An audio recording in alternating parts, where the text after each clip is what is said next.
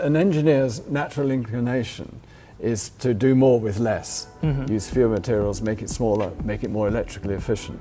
Hi, I'm Ajay Kumar, home editor at CNET, and I'm here with James Dyson in the Dyson Soho store. We are here to talk about some of the awesome products here. I know very little about beauty products. Do you want to tell me a little bit about what makes this so interesting? Yes, well, we started. Um, this is a conventional motor in a hairdryer mm-hmm. uh, existing, and that's the heater. And they're big, heavy objects right at the top of the machine. Mm. So it's heavy and difficult to maneuver. And we have been developing high speed motors, which have much more force than you get from this type of, of crude fan. And we knew that we could therefore make a very small hairdryer and even put the motor in the handle. So, unbelievably, when you hold, this is our first hairdryer, the Supersonic, when you hold the Supersonic, uh, you're actually holding the, the motor spinning at 130,000 RPM. So we started developing very high speed electric motors going at 120, 130,000 RPM instead of 20 or 30,000. So it's you know five times faster. If you go faster, you can make the motor smaller and it also makes it more electrically efficient. So it sounds great, but it's difficult to develop, and it took us about 10 years to develop it. but the result is that we're able to make these very high speed, quieter, much lighter, using far fewer materials, far fewer copper, all that sort of thing, uh, and make light, slim products, which everybody wants. This is our latest Airwrap, uh, where you, you, we're using airflow to shape curls. Okay, so uh, all the so curls I don't have. and, exactly. And we use what's called the Coanda effect. So if you, if you set air off roughly going around a cylinder like this, mm-hmm. uh, it hugs the cylinder and a, a, man called Coanda discovered this effect, actually with an aircraft. He was doing it, he, he wanted it for aircraft technology. He got into trouble though because the aircraft caught fire mm-hmm. and the flames hugged the fuselage, which was the Coanda effect. So he almost got burnt by his own, own invention. Um, anyway, we won't, that won't happen to us today. Yeah. Uh, but, I mean, um, and now we can use it safely for, for we, hair. You could use it safely for hair. So we, we have um, uh, the attachment ID, so RFID, so you, it knows what attachment you fitted. And if you use the app on your, on your phone, you can uh, put in what hair type you've got and what style you want.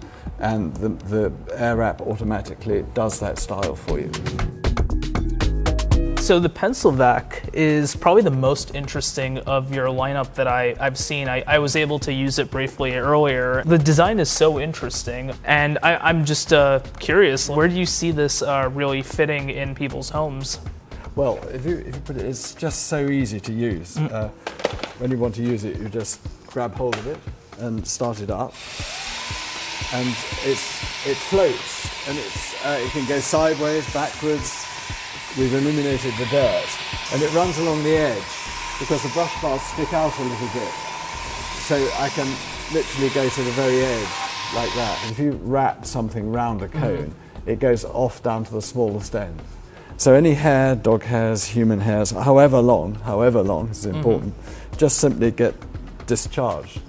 And then you just into into a ball and then you just vacuum it up. So it never tangles you don't have to clear anything ever. Mm-hmm. It's just uh, pushing it off to the side it's pushing and getting it. I really see it being useful for uh, quick cleanups.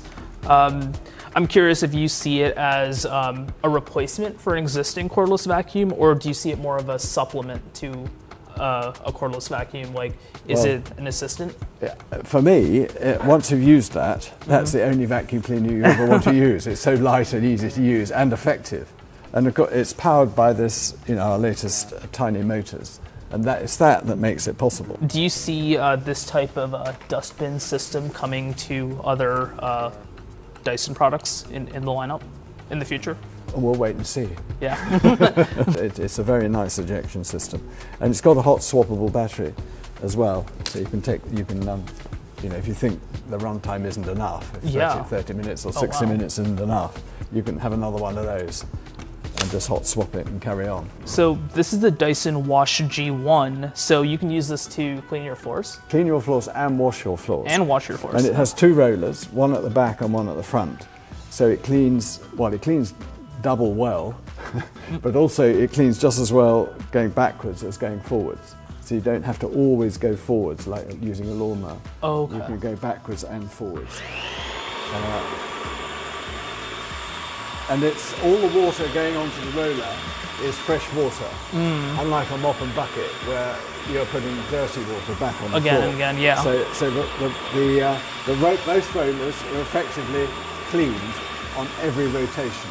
This is the Dyson Clean Plus Wash. This one's slightly different in that all the dirt and everything stays down there, and you take that so everything's in the brush head. Uh, yes, so that that those are the tanks um, of dirty of dirty stuff. So the dirty water and any debris goes up into that, and you take that to the sink to empty it. The point about both these systems is they'll pick up surface debris. You can't suck dirt out of a carpet with them, right. but they'll pick up surface debris hygienically. There's, there's, there's no hidden dirty filter or dirty duct or anything. You can wash everything every time. So it's the only hygienic system. So this is the Dyson HushJet. Um, it's your new air purifier. I'm seeing a really interesting design change on this. It looks mm. like a, a jet engine almost.